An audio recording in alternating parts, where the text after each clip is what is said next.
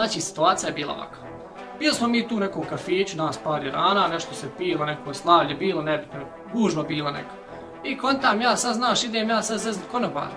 Znaš, ne može on sad znat koliko je ko tu šta ima da naplati ovo ono. Idem ja, imat ću plat, piće, idem u kući, znaš, ja ću njega zeznut da je nešto manje bilo.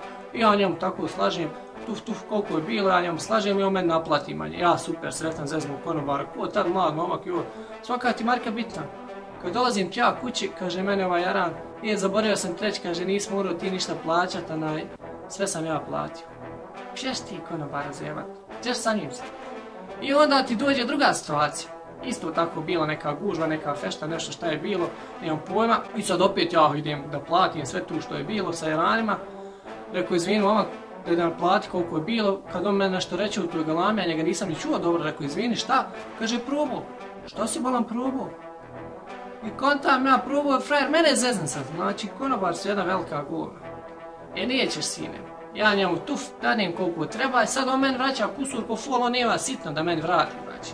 E, ja, on meni sitno vrati po marki.